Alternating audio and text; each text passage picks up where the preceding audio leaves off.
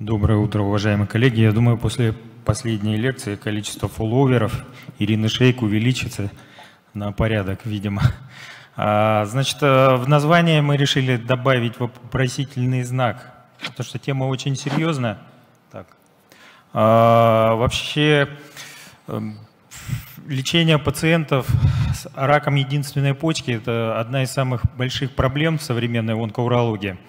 А, какую тактику мы можем предложить таким пациентам? Первое, ну, это нефрактомия а, с диализом а, и в дальнейшем с трансплантацией, я надеюсь.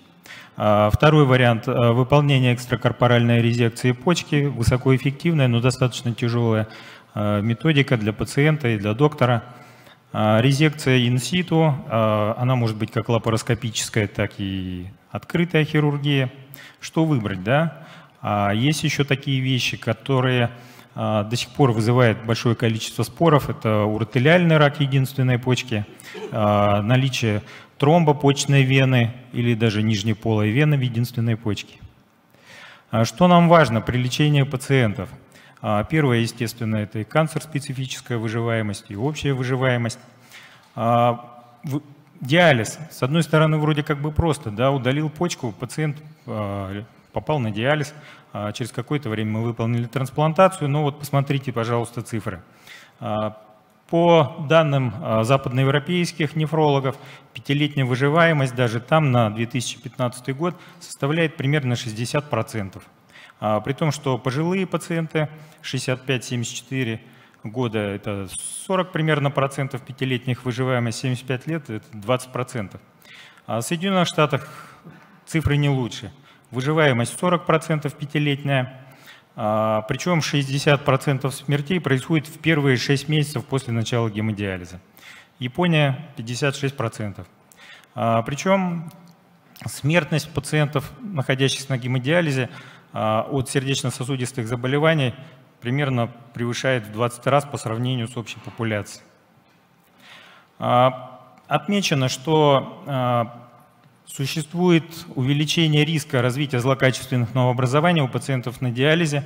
А, начинается а, вот это вот увеличение риска примерно на девятый месяц после включения пациента в диализную программу. А, вот по данным Американского общества диализных врачей, и примерно из полумиллиона пациентов, находящихся на диализе, онкологические заболевания выявлялись, выявлены были у 35,5 тысяч человек в течение пяти лет. А, причем отмечено, что увеличение риска развития рака почки и лоханки и риск развития рака мочевого пузыря.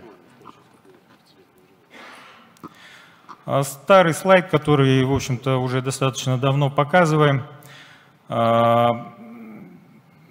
А, Сведения сейчас э, достаточно сложно такие достать, потому что, э, в общем-то, э, такой метод лечения уже достаточно редко используется. А, Но ну вот я хочу сказать, что Значит, казалось бы, да, вот что хорошие последние два кейса.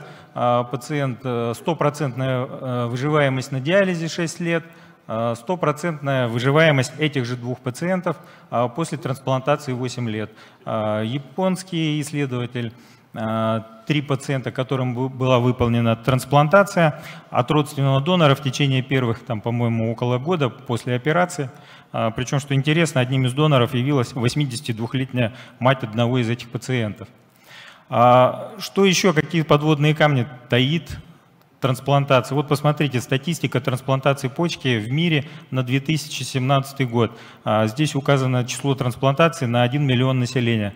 А, нижняя красная стрелочка – это вот Россия. Примерно 6 с небольшим количеством трансплантаций. Ну, для сравнения, я вот красной стрелкой пометил Белоруссию. Да? Сравните, какая разница. Второй вопрос, который стоит перед а, практическими врачами – а сколько времени ждать а, между выполнением нефректомии и выполнением трансплантации? Ну, Американская ассоциация трансплантологов подразделяет пациентов на несколько групп. Инцидентальные опухоли, либо опухоли менее 4 см, период ожидания не нужен, пациента можно сразу включать в лист ожидания.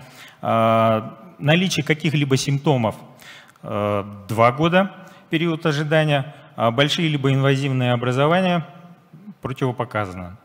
Недалеко от них ушли трансплантологи Австралии, Новой Зеландии – Канадское общество трансплантологов, ну, практически все придерживаются того мнения, что небольшие образования не являются противопоказанием для немедленного включения пациентов в лист ожидания на трансплантацию.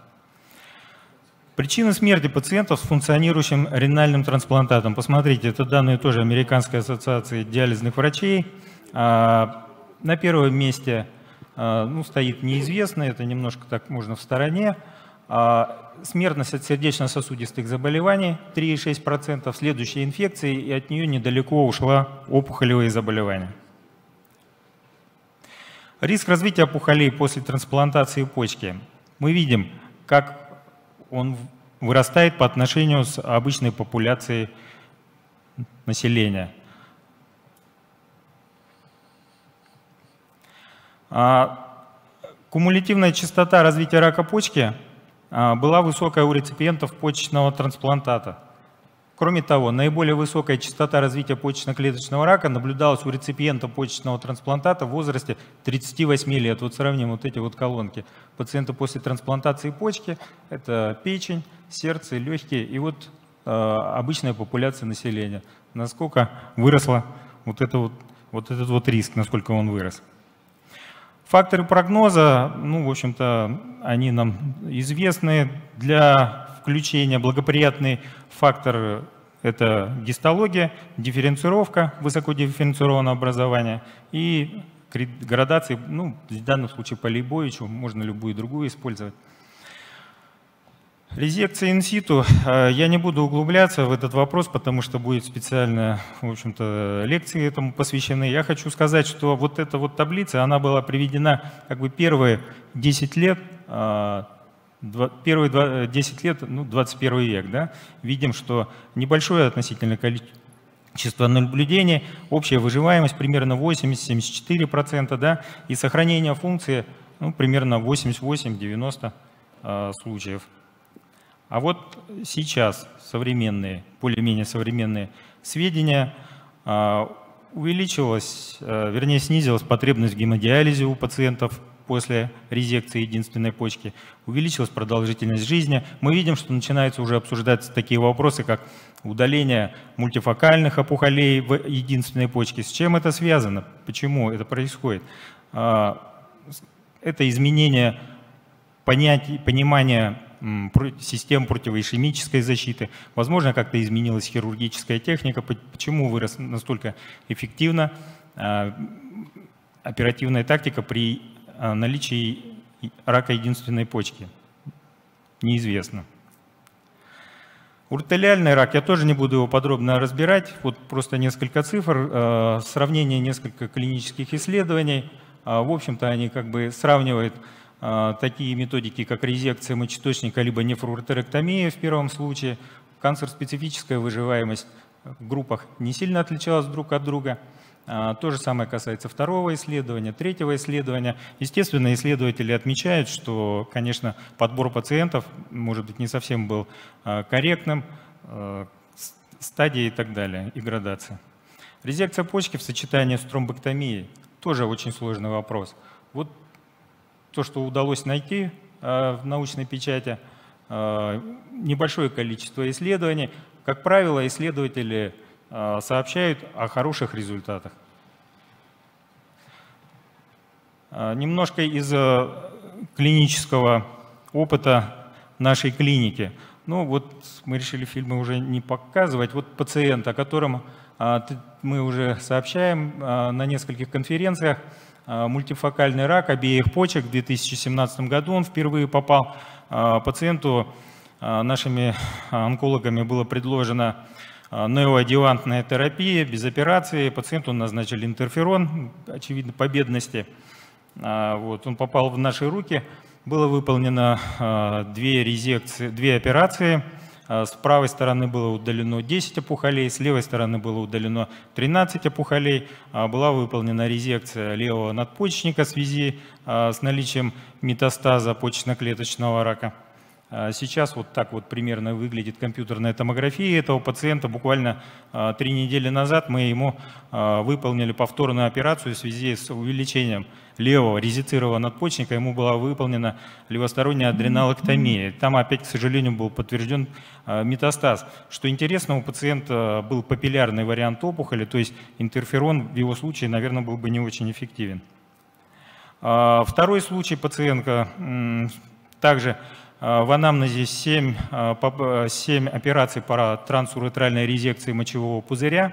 А, также выполнялось в онкологическом диспансере. В конце концов, все эти вмешательства привели к смарчиванию мочевого пузыря. Нами была выполнена и радикальная цистектомия.